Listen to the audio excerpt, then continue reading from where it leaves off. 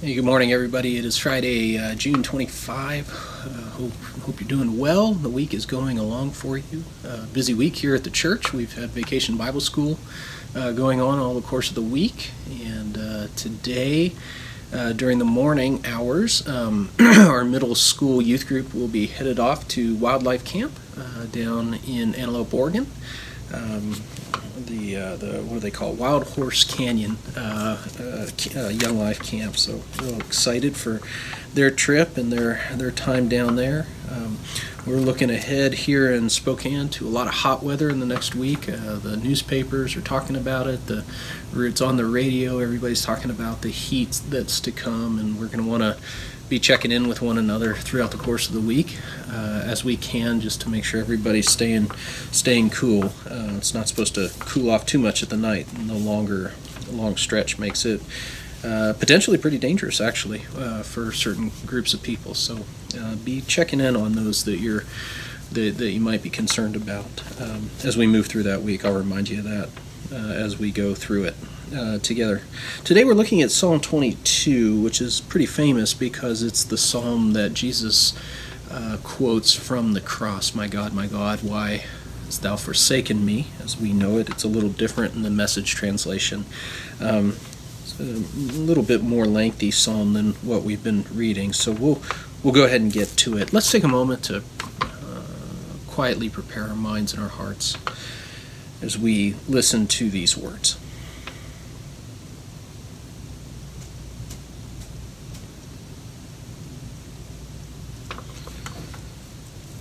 Psalm 22. God, God, my God, why did you dump me miles from nowhere? Doubled up with pain, I call to God all the day long. No answer.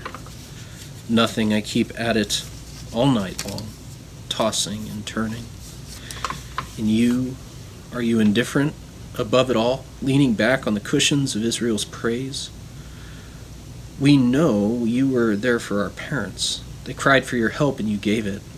They trusted and you lived a good life. And here I am, a nothing, an earthworm, something to step on, to squash. Everyone pokes fun at me. They make faces at me. They shake their heads. They, let's see how God handles this one. Since God likes him so much, let him help him. And to think you were midwife at my birth, setting me at my mother's breasts. When I left the womb, you cradled me. Since the moment of birth, you've been my God. Then you moved far away, and trouble moved in next door. I need a neighbor. Herds of bulls come at me. The raging bulls stampede, horns lowered, nostrils flaring, like a herd of buffalo on the move. I'm a bucket kicked over and spilled. Every joint in my body has been pulled apart. My heart is a blob of melted wax in my gut. I'm dry as a bone. My tongue black and swollen. They have laid me out for burial in the dirt. Now packs of wild dogs come at me. Thugs gang up on me. They pin me down, hand and foot, and lock me in a cage a bag of bones in a cage stared at by every passerby. And take my wallet and the shirt off my back, and then throw dice for my clothes. You, God, don't put off my rescue. Hurry and help me. Don't let them cut my throat. Don't let those mongrels devour me. If you don't show up soon, I'm done for. Gored by the bulls, meat for the lions. Here's the story I tell my friends when they come to worship and punctuate it with hallelujahs.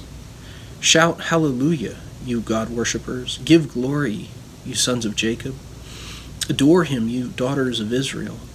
He has never let you down, never looked the other way when you were being kicked around. He has never wandered off to do his own thing.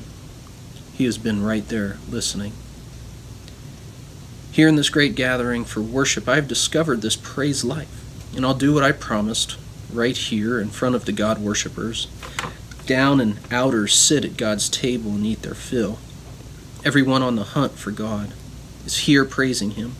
Live it up from head to toe. Don't ever quit. From the four corners of the earth, people are coming to their senses. They're running from running back to God. Long lost families are falling on their faces before him. God has taken charge. From now on, he has the last word. All the power mongers are before him, worshiping.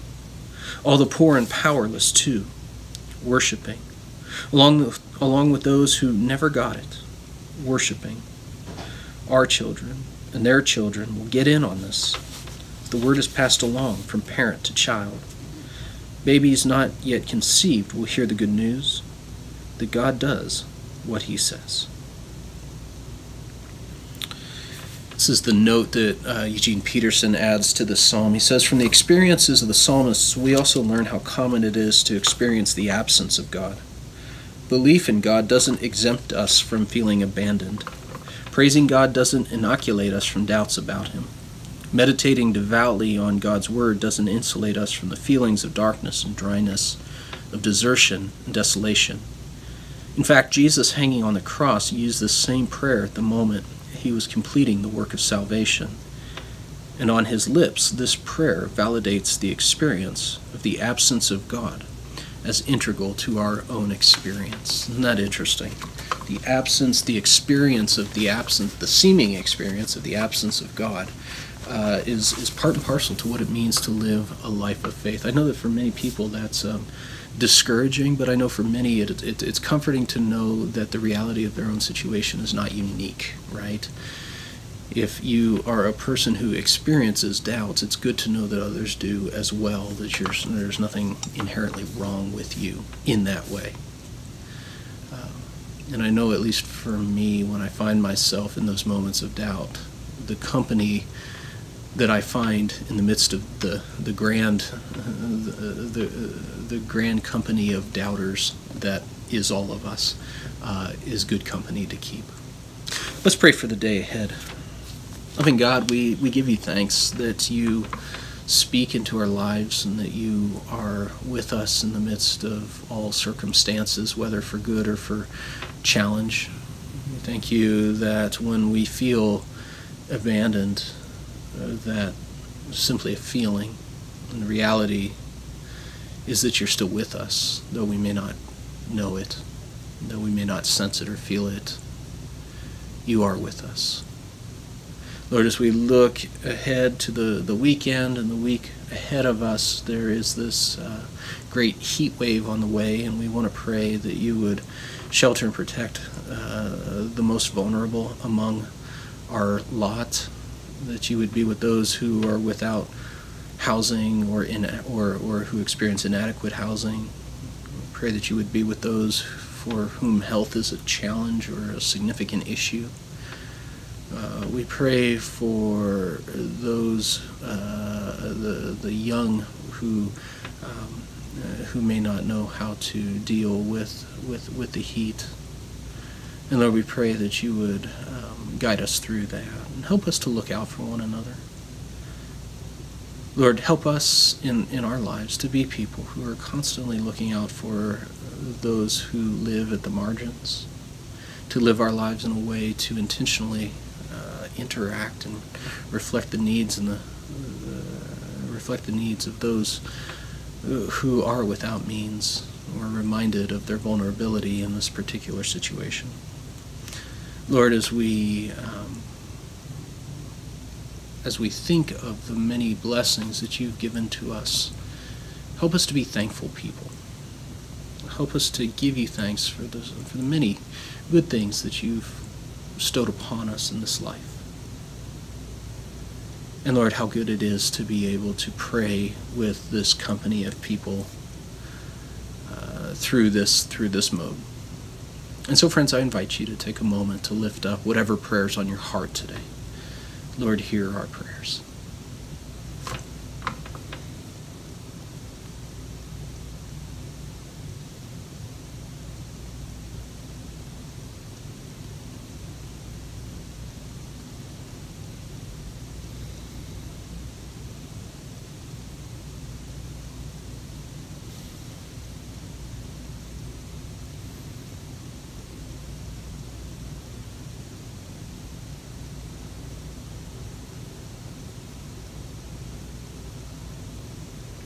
And so, God, we lift up all of this to you, trusting in the name of Jesus. Thank you for hearing our prayers. Amen. Hey, great to be with you, friends. Uh, take care. Take care of one another. Look for God in the midst of it all. God bless you, and we will see you soon.